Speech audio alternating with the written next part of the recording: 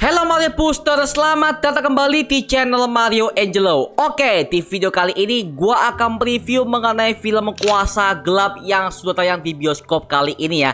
Jujur ya, mohon maaf banget gua agak telat buat nge-reviewnya karena lagi-lagi gua baru ada waktu kosong sekarang. Dan ketika pas gua tonton hasilnya, wow, ada banyak banget hal positif yang gua dapatkan Tapi juga ada kekurangan yang agak mengganggu gua di film yang satu ini. So Mario Booster, let's review this movie.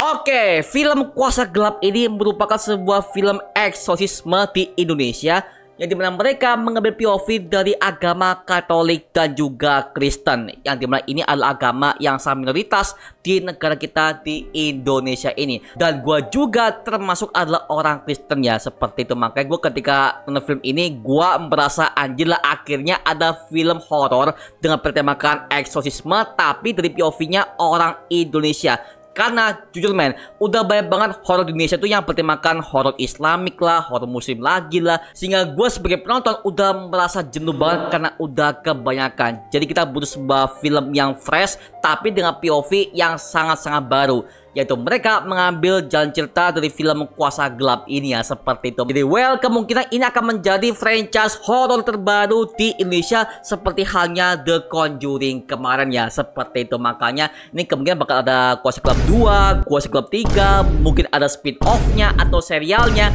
Well, gue yakin ini pasti bakal menjadi sebuah serial yang hampir sama seperti universe-nya Conjuring kemarin ya seperti itu. Oke. Okay?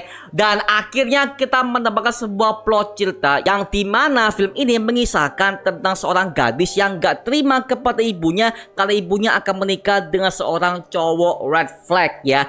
Jadi gadis ini berusaha untuk minta bantuan kepada arwah bapaknya yang meninggal dan ternyata yang datang bukan arwah bapaknya tapi itu adalah sosok iblis yang berusaha untuk mencerai berikan keluarga yang sangat damai ini ya seperti itu. Makanya ini sangat clear banget dan juga ada banyak pembelajaran yang bisa gue ambil di film Kuasa Gelap yang satu ini jadi intinya film ini gak cuma mengajarkan bagaimana horornya, bagaimana jump scare-nya, bagaimana blood-bloodnya, tapi film ini ada tujuan tersendiri buat kalian para penonton seperti gua ini ya, seperti itu mak. Dan akhirnya gue bisa mendapatkan visual yang cakep, backgroundnya oke, set tempat yang sangat oke banget, juga efek-efek fogging, lighting, color grading, dan juga angle kameranya semuanya kreatif banget pak. Oke, gue sebagai penonton sangat terhibur banget mengenai film Kuasa Gelap yang satu ini.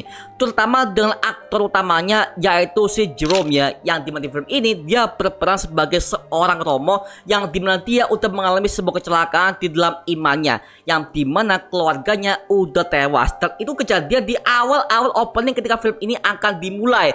Dan itu adalah background story yang sangat mendukung ketika dia ini akan menjadi sosok hero utama di film Kuasa Gelap yang satu ini. Ada juga Bapak Lukman Sardi yang main di film ini sebagai seorang Romo yang sangat profesional terhadap berbagai macam hal-hal eksorisme ya seperti itu. Makanya ketika gue pas ngeliat dia tuh gue langsung inget kepada filmnya The Exorcist tahun 1973 yang di mana juga ada pastor tua dan juga ada pastor muda yang berusaha untuk mengusir setan yang ada dalam diri anak kecil.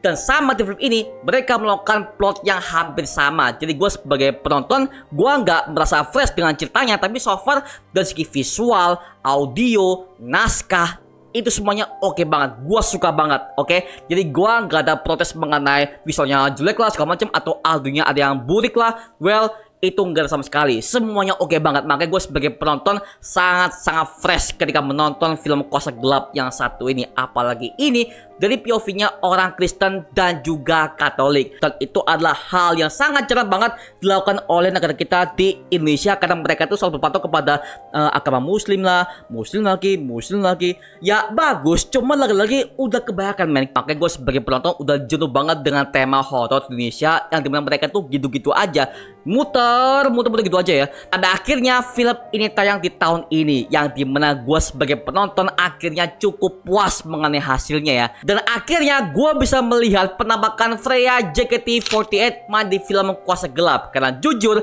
gue adalah salah satu wotanya pak ini mungkin buat kalian nggak tahu ya tuh adalah wota JKT48 dari awal tahun 2011 dari zaman zamannya pas gue tuh SMP kelas 1 gile pakai gue sebagai fans JKT48 akhirnya gue bisa melihat uh, si Freya bisa tampil acting di film yang satu ini. Dan ketika gue melihat dia acting seperti itu mohon maaf banget ya buat Kak Freya dia actingnya masih kayak agak baca naskah banget. Jadi dia belum luas dengan emosinya dia belum luas dengan karakternya jadi ketika dia tampil di film itu kayak kaku banget gitu loh. Jadi gua ngerasa anjir lah, saya banget lah anjir. Ekspresinya sangat datar sekali. Makanya gua bisa katakan untuk Freya mungkin dia bisa belajar lagi ya biar bisa menjadi aktris yang bisa melangkai sih mungkin.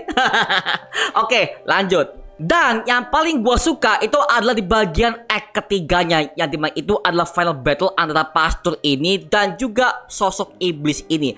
Yang di mana mereka mengambil POV iblis yang bernama Legion Yang di mana wujudnya hampir mirip dengan wujud iblis Falak yang ada di film The Conjuring tahun 2015 Mohon maaf ya, lagi-lagi Indonesia kurang kreatif mengenai hal ini. Karena lagi-lagi Biarawati lagi, suster lagi, ya elah. Kenapa gak pakai konsep kayak Romo yang udah tewas kayak atau mungkin pastor yang udah jatuh bagaimana kayak kenapa harus mati lagi nih? Lagi-lagi ini belum fresh banget buat Indonesia ya. Karena lagi-lagi mereka literally meniru dari konsepnya The Conjuring banget. Jadi kalau mereka secara konsep untuk hantunya well literally gua kurang suka men. Karena mereka tuh literally nyomot dari film The Conjuring pak. Astaga kan wujud iblis banyak ya. Gak usah harus lomo gak usah harus suster kan banyak gitu loh. Kenapa harus dia lagi dia lagi dia lagi? Little ini falak banget pak. Jadi lagi-lagi gue sebagai penonton agak menyayangkan jika film ini harus meniru film The Conjuring yang satu ini. Karena